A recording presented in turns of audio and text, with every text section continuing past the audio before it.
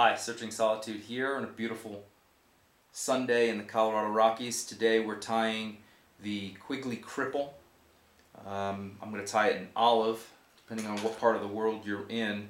Uh, you may see these in um, Adams Gray. You might see them in, um, in brown. Um, you may see them in PMDs.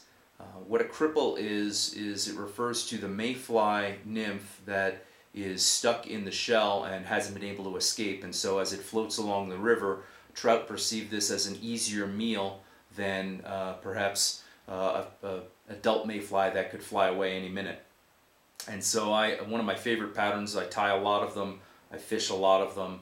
Uh, you can tie these anywhere from size 14, depending on the mayflies in your part of the world, but size 14 all the way down to size 22, I suppose.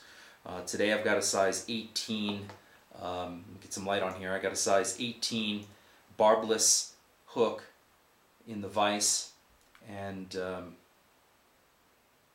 let's see what we come up with. Here's a uh, look at the finished pattern. This one happens to be in gray. I'm going to switch colors. I'm going to go to olive just to show that you can tie these in anything, uh, in any color. The um, materials today we're using begins with olive A-dot threads. Pretty much all I tie anymore is A-dot uh, thread.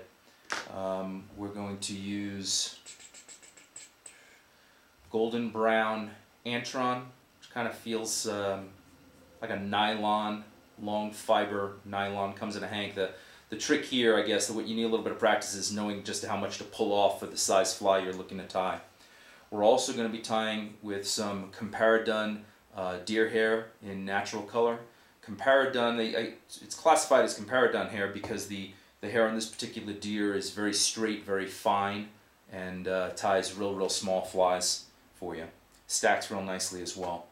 Uh, and lastly, we're going to be using some um, super fine waterproof dubbing in uh, the color of your choice, or the color to match the natural. I'm going to be using olive green uh, here today. Uh, and lastly, um, I've got a brown rooster hackle that I haven't prepared yet. I'm going to do that on camera so you can kind of see if you haven't tied before with hackle like that, um, just how that works. So let me get my glasses on and let's tie on. I begin with my olive thread at the thorax. I, for, for some patterns, I do not start right behind the eye. And the reason for this is that it will help you with your proportioning and making sure you don't crowd the eye later on as you, well, that, it's these black stainless hooks that I'm using. Um, man, slippery, slippery, slippery. And so, I don't know, 10 wraps on there, it's still just unraveled right off. Okay, so I work my thread back towards the bend of the hook. And when I get to the bend, I'm going to let it hang. So if I can come in a little bit tighter for you. There you go. First thing going on there is my tailing material. So I've narrowed down that big hank I showed you to just a small wisp of, I don't know, 10 or 12 fibers. And I'm going to use a pinch wrap, pinch between my fingers, pull the thread straight down, a pinch wrap to bind that to the top of the hook. Now instead of snipping off the excess, I'm going to grasp it and continue tying it down to add some bulk to the body of this fly. I do that rather than build up the head just using thread. I will use thread, but if I have that antron in there, it adds a little bit of bulk to the fly so I can come back now, work my way back towards the initial tie-in point and begin building a thread body.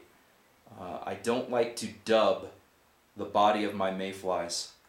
Uh, one, tends to make your mayflies real fuzzy, and if you've ever caught a mayfly, you know they don't have fuzzy bodies. Number two, all that dubbing is just like a sponge to absorb water, even if it's waterproof dubbing.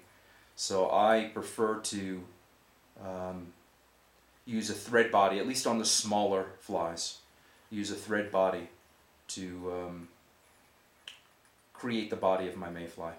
All right.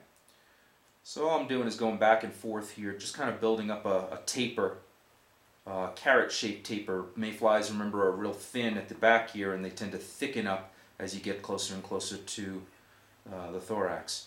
And so when I feel like I've got that pretty much where I'd like it, I'm going to let the thread hang and I'm going to go to my olive dubbing. I'm just going to take a little pinch. With dubbing, less is better. It is better to make more wraps with very, very little dubbing on your thread than to make less wraps with a big, huge hunk of yarn on your thread.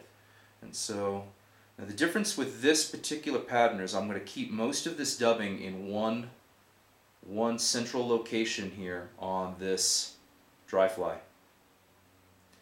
And remember, this is not a fully formed adult. It's a, an adult that's gotten stuck uh, on its way to adulthood. Let's just make sure we get this where we want it. There we go.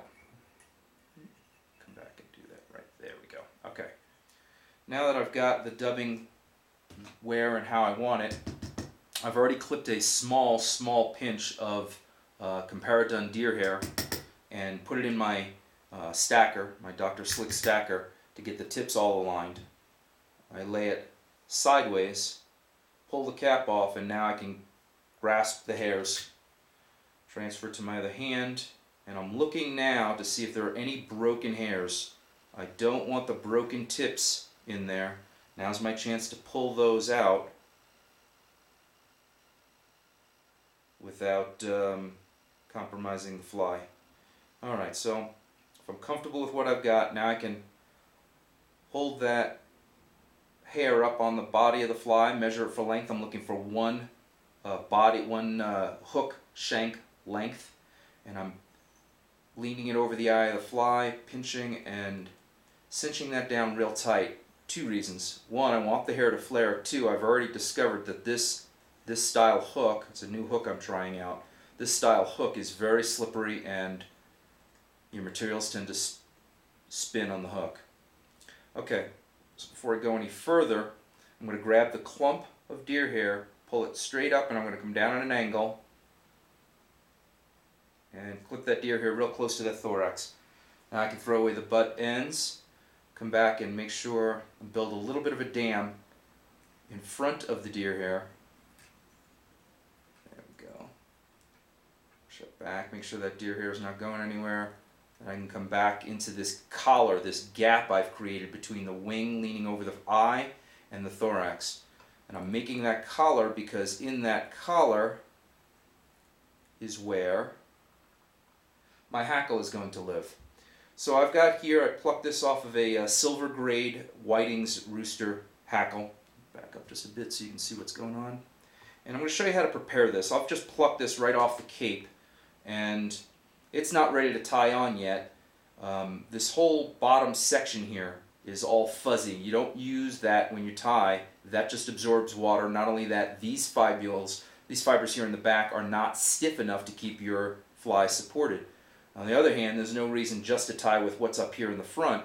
So we look along the stem until you see an arrow, a shaded arrow, and that tells you where to clip off. And for this fly, I'm not sure if I can catch this on camera for you. For this fly, it's about right here. Everything on this side has no use, and everything above that will be what we use for this for uh, future flies.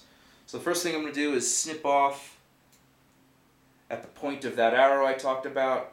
Now I've got these fibers I need to pluck away, strip away, to give me a bare stem that I can tie on. I want a bare stem to tie. I tie with the shiny side facing, uh, facing me, which ultimately will have the shiny side facing forward when I wrap it.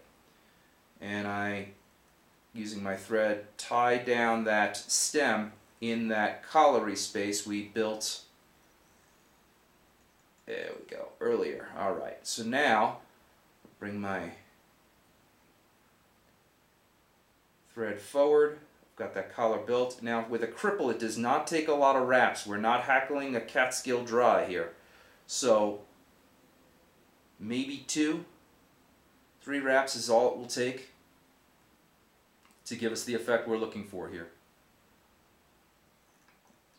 Cinch that off or tie that down. Don't worry about the, the deer hair flaring. We'll deal with that later. not a problem. Just keep all the deer hair, the tips facing over the front of the fly.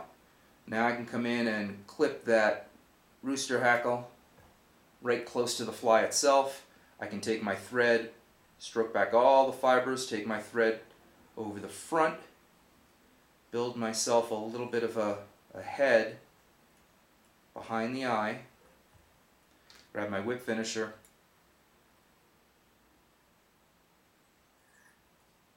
and just get two or three wraps on there if you can. Three would be ideal.